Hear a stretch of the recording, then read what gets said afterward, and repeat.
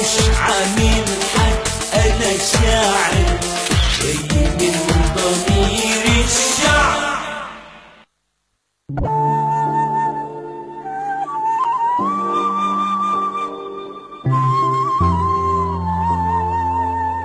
عرفت سيد ضوي سيد ضوي رجل نقي. ومالوش وشين ما يعرفش. ويزعل يبقى زي الطفل ويفرح يبقى زي الطفل وفنان صحيح شاعر. وإحنا برضو تعريفاتنا للشعر. خد شعر العامية وشعر الفصحى. ما خطرش على بالنا الشعر الشعبي ده بصورة جيدة يمكن إلا مع بداية أيضا جمع للسيرة الهلالية والكلام عنه عن عم جابر وعن شوقي الجناوي وفوزي جاد والناس دي. ظلينا في بيت الشيخ الأبنودي ثلاث أربع أيام. فاطمة جنديل تطبخ والولاد تنزل. وإحنا ناكل ونشبع ونقوم نشتغل على الريكوردر اللي جابه لنا عم عبد الحليم حافظ من اليمن. ومعاه إخواته قال لي ده نصاري أخوي وده إيه يعني عرفناه. خلصت دول قلت له طيب يعني أنا كنت فاهم إن يعني إيه ممكن آخد أطراف. وروحت سيد. قالوا لي في واحد اسمه شوقي الجناوي في عزبة البوصة ورا مسجد سيدي عبد الرحيم. عند الفواخير بتاعة الجلل وال كده. خدت بعضي ورحت دورت عليه لقيت واحد قليط قلاطة يعني إيه ممكن تقول مش عاوز. ما هي دي بقى كل اللي كتبوه عن طرق جمع السيرة وما طرق وإنك لازم تبقى صيت وتشرب شاي معاهم مش حكاية تشرب شاي معاهم. مش حكاية تنزل الجماهير أنا دايما أكره الناس اللي يقولوا ننزل الجماهير تطلع للجماهير. نع- يظلوا هم اساتذتنا دائما يعني.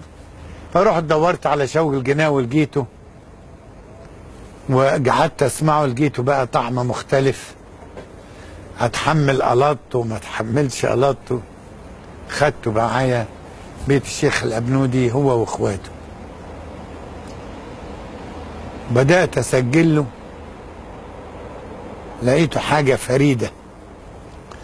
ويقول حاجات بسيطة مثلا يقول لك شبابي يا شبابي يا شبابي يا شبابي يا شبابي مضيعتك شبابي يا شبابي يا بس ده الغنو فغنوة مؤلمة شبابي يا شبابي يا بيتحصر عليه شبابي يا شبابي مضيعتك. ضاع. هو توفى من سنتين ثلاثة وكان هنا في مكان قريب مننا هنا. ان هو جه القاهرة بعد كده لأن أنا جبته هو أخواته القاهرة. المهم يعني ده مش وقته وسجلت لهم. وأنا قررت إن القاهرة لازم تسمع الحاجات دي. يعني من ساعة شوقي قررت إن القاهرة لازم تسمع. المهم نزلت ابنود قلت بالمرة ما أنا قلت لعبد الحليم إن أنا هجمع السيرة الهلالية لكن برضه في نفس الوقت عاوز أجمع الغنى الشعبي بتاع الحريم والرجال والولاد والأطفال. فرحت نزلت ابنود طبعا أنا إحنا طلعنا من الاعتقال في منتصف آه، أبريل. وأنا رحت طبعا نزلت دخلنا في مايو. يعني طبعا الكلام ده اللي بقوله لك كله. فبدأت أجمع أغاني الشواديف والسواق قرايبي. وب- و- ودخلنا في 20 مايو ولا حاجة ولا 22 مايو. وأنا بسجل في مكان بعيد فجأة لقيت أبنود كلها جاية ترمح. مفزوعة زي حكاية الفيضان اللي- قلت لك عليه ده. كله بيرمح. كلم! يا أستاذ عبد الرحمن كلم! يا عبد الحليم حافظ على التليفون. يا ابني بس قطعت شهوتنا بنسجل كلام جميل. أبنود فيها تليفون. يعني لازم تروح الوحدة المجمعة تمشي. مشيت رحت لغاية هناك لقيتهم لسه على التليفون. أستاذ أحمد سعيد كان مدير صوت العرب والمشهور طبعا ببيانات ال- الحرب دي إلى أن جاءت الانتكاسة. أستاذ وجد الحكيم كان مذيع هام في صوت العرب وعبد الحليم حافظ. أستاذ أحمد سعيد كلمني خد بعضك يا عبد الرحمن وتعالى إحنا هنخش الحرب. ما قدرتش أتكلم معاه. كلمني وجدي قال لي ده- يا عم طيب يا وجدي حاجة. كلمني عبد الحليم. عبد الحليم كان فاهمني وعارفني وعارف إن دول ما يجيبونيش. إيه يا عبد الرحمن قاعد عندك تعمل إيه؟ قلت له أنا قلت قال لي البلد هتدخل حرب قلت له صدقني البلد عمرها ما هي داخله حرب. دي مش شكل بلد هتدخل حرب قال لي يا عبد الرحمن بطل بقى تعالى بقى. وراح خطب منه السماع أحمد سعيد وقال لي وأنت جاي اكتب الأغاني بتاع الحرب مصر هتحارب. وضع طبيعي جدا إن إحنا لما يعني قررنا آه، آه، إن لابد من حشد كل القوى. ودخلنا في صراع مع أجهزة السلطة المختلفة. وعبد الحليم حافظ يعني آه، يعني خلاص يعني لابد من إن إحنا نواجه الظروف اللي موجودة بكل القدرات اللي موجودة في مصر. فلان راضي عنها فلان مش راضي عنها ده مش اختصاصنا. فوضع طبيعي إن إحنا قعدنا ندور على آه، عبد الرحمن اكتشفنا إنه مش موجود هنا. طب ده هنجيبه منين؟ قالوا من البلد. الله يرحمه مجدي العملوسي كان معاه نمر. قعد يدور يدور يدور. طلبنا نهاريها على ما أذكر ثلاث نمر. لغاية ما وقعنا في نمرة أظن الوحدة المجمعة بتاعتهم الوحدة الصحية. وبدا الاتصال. طبعا العملية عبد الحليم شد التليفون ويقول لهم عايز عبد الرحمن. فطبعا الوحدة الصحية مش هنا خالص عمالة تقول عبد الرحمن مين؟ ودخلنا في متاهة. فأنا مسكت التليفون قلت لهم هو أنتوا عندكم كام عبد الرحمن؟ هو عبد الرحمن واحد اللي عليه الطلب. هاتوا لنا عبد الرحمن الأبنودي. يبدو اللي سمع سمع شخط مني بشخط فيه. فبصينا لقينا بقى الابنودي جاي بيقول أنتوا عملتوا إيه في البلد؟ البلد كلها هاجت وقعدت تدور عليا تدور عليا تدور عليا لغاية ما جابوني من دماغي وقالوا انزل على البلد جري انزل على القاهرة جري. جالنا طبعا وهو في حالة في الأول كان متصور إن يعني في اعتقال تاني بقى. لا لا لقى في شغل شغل بلده بلده عايزاه. بلده طلباه ووضع طبيعي إنه كان لازم يقعد ويبدع ويعمل اللي عمله ده كله. بصراحة يعني آه، آه، لو دخلنا في تفاصيل هنبص نلاقي نفسنا دخلنا في حدوتة. أنا أرجو أنكم يعني تسمعوها بتفاصيلها بقى. يعني إزاي دخلنا مع وزير الداخلية وإزاي دخلنا مع فلان وحسن طلعت آه، بتاع المباحث العامة. إزاي كل ده؟ عشان نوصل إلى إن عبد الرحمن الأبنودي لازم يكون موجود. ليه؟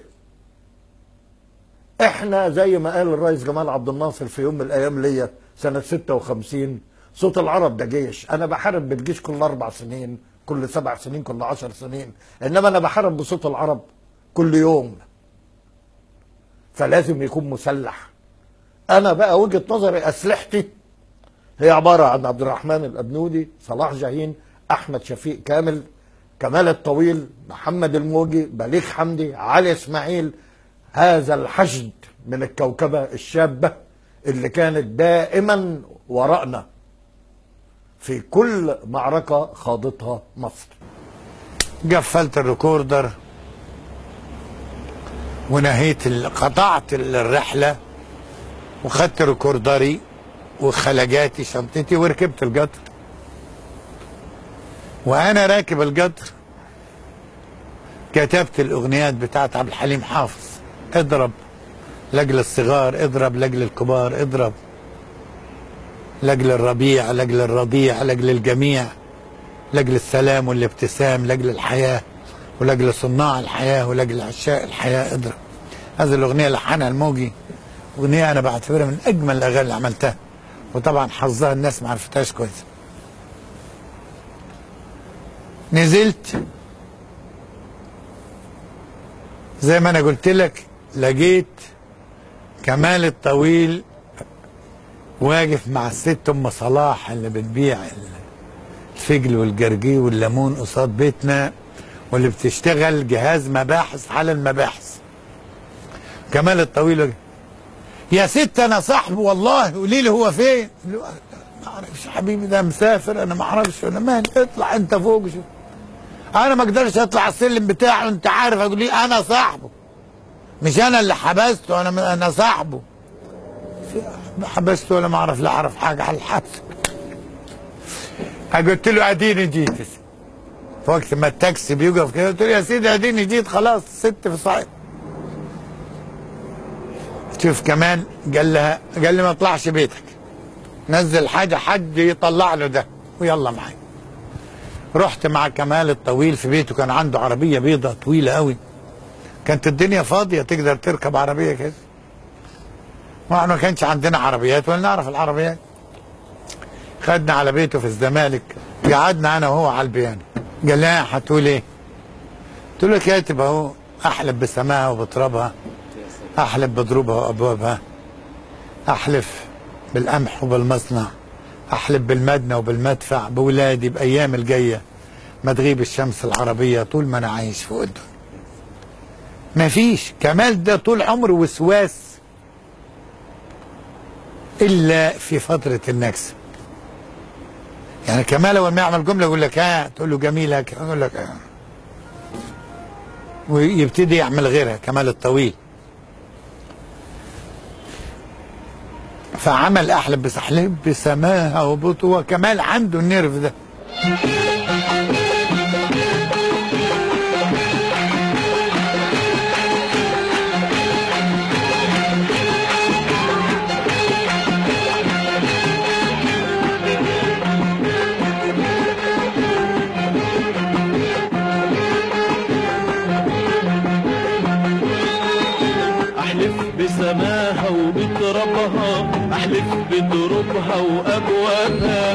احلف بسماها وبترابها احلف بترابها وأبوابها.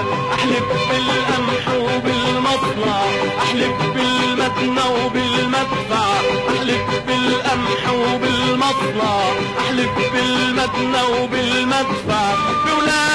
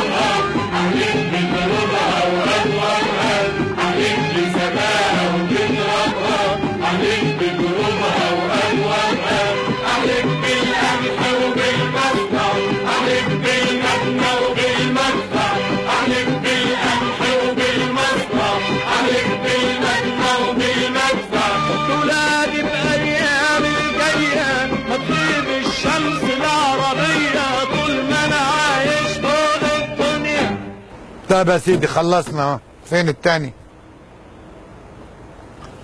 قلت له يا بركان الغضب يا موحد العرب. فور على الرمال فور على السهول. انزل عليهم من الجبال من الخنادق بالغضب ومن البنادق بالغضب.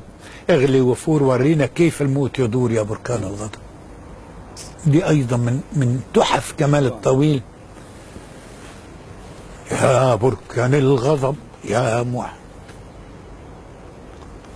خلصنا يا سيدي. ها؟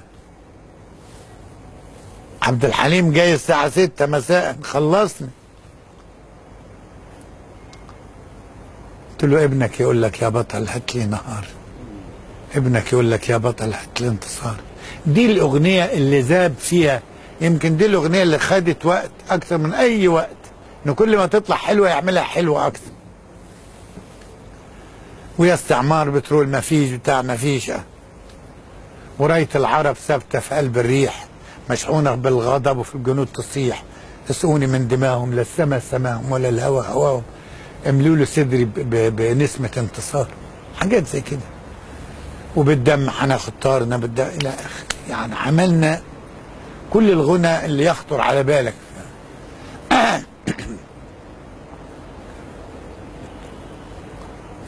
مساء جه عبد الحليم. الساعة 6 كده. هي كمان ورينا كمان. كمان قال احلب بسماها وبترابها أحلب. الجميل. يلا نسجل قال له لا هو ده اللي إحنا قاعدين من الصبح على هو عارف كمان إن بيقعد أسبوع في الشطرة. قال له طب اسمع دي بس. ابنك يقول لك يا بطل هات لي نهار. ابنك يقول لك فعبد الحليم ذهل. قال له لا ده حاجة جميلة. أول مرة عبد الحليم يعني يقول قال له لا يعني يا بركان الغضب يا موحد العرب فور على السهول فور. إيه يا إخوانا أنتوا عاملين إيه؟ راية العرب استعمر بترول ما فيش. يعني كان في كمانجاتي في فرقة أحمد فؤاد حسن الفرقة الماسية كان هو اللي بيكتب النوت. يعني لهم كلهم. للموجي وكمال الطويل. ما عدا بليغ لأن بليغ كان يكتب الراجل بنفسه. جه الراجل ده يومين 48 ساعة يجي يغير كان هو ساعات يعني يتدخل في بتاع. أن عبد الحليم ما تلمسش. يقول له بس دي مكسورة يقول له خليها مكسورة. عبد الحليم مزيكاته وعارف إنها مش مكسوره بس هو خايف يعني من فزلكة تفقد السخونة اللي في ده أغاني حرب مش الأغاني العادية اللي تاني يوم ولا تالت يوم كنا في الإذاعة كنا في الإذاعة واحد يوني. زي الطابونة العيش يطلع سخن يروح على ال- ال- الأكل ياكلوه. تطلع الغنوة تترمي في الراديو تطلع الغنوة تترمي في الراديو. الشارع وأحمد سعيد عمال يقول كده وصلنا لخمسة يونيو. إحنا شحنا الناس أنا وعبد الحليم حافظ وكمال الطويل والموجي. صلاح جاهين لأول مرة كده إيه عمل حاجة اسمها إنذار. انذار يا استعمار من كل حبة آه، غيط من كل ما أعرف إيه كده انذار وبعد ما فالأغاني اتملت يعني بقت أبنودية الشارع بقى أبنودي. وعبد الحليم مخلص من هنا حتى علي إسماعيل عمل لي غنوة برضه لعبد الحليم اسمها بالدم حنا خطارنا. وعمل لي غنوة لفايدة كامل كان عن القدس في قلب الهيصه دي. وأنا خلاص اتنسى الأبنودي واتنسى بقيت. يعني أنا وال- والدنيا دي خلاص يعني موضوعي. يعني طول عمري عاوز بلدنا تحارب الاستعمار. عاوزها تحارب إسرائيل إسرائيل. والأغاني تشتغل والحاجات من ده. مالنا أنا ومجد العمروسي رحمة الله عليه ووجد الحكيم. بنعدي قدام أوضة صغيرة الاستوديو الصغير اللي بيذيع منه أحمد سعيد. لقيت لك يا أحمد سعيد. وشه أصفر. وعينيه هنا أما لا وجد اتكلم ولا أنا بقول له إيه؟ ملك. مش هيخلونا نقول مصر اتهزم الحكومة دي مش هتخلينا نقول مصر. راجل فقد القدرة على النطق. اللي كان من شوية بيهلل ويقول عرب وعملنا وبتاع. بكى بكاء يعني ما عرفناش إحنا يعني نزعل على اللي عبد الناصر ولا نلم بليغ لأن ممكن يجرى له حاجة قال له يعني اتهزمنا يا عبد الحليم. قال له اتهزمنا؟ يعني مصر ماتت. رايحين بنفس الدافع اللي طلعنا. رايحين يمنعوا جمال عبد الناصر من الاستقالة. عبد الحليم ده فخ. يعني ما تقدرش تقعد في بيتك وانت عارف انه قاعد.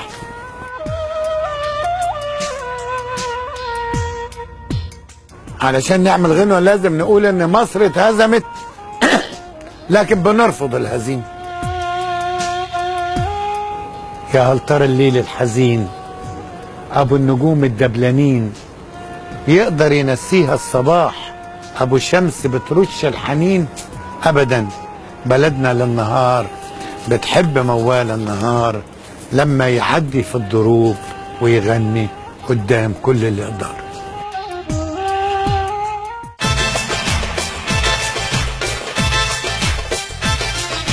بلاد النيل أحلى بلاد بلاد النيل.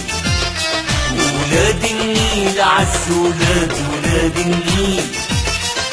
بلاد النيل أحلى بلاد بلاد النيل.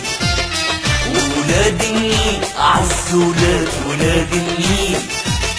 وهبتنا أصواتنا أشعارنا وسكتنا أمتنا زوجاتنا أولادنا وبناتنا ضحكتنا أنتنا في الجرح والدواء في الهجر والهوى في الجرح والدواء.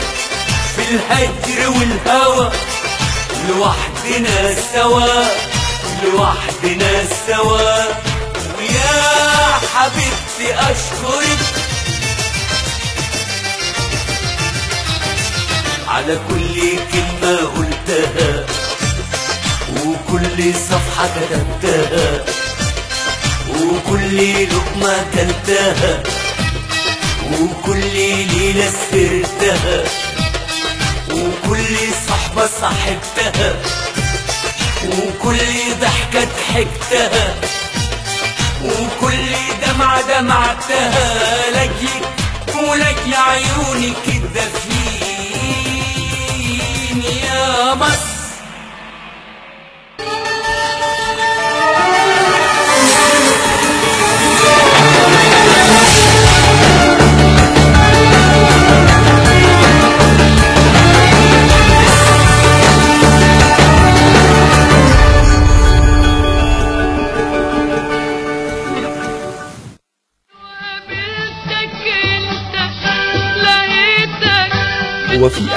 زمان وأيام زمان وأغاني زمان.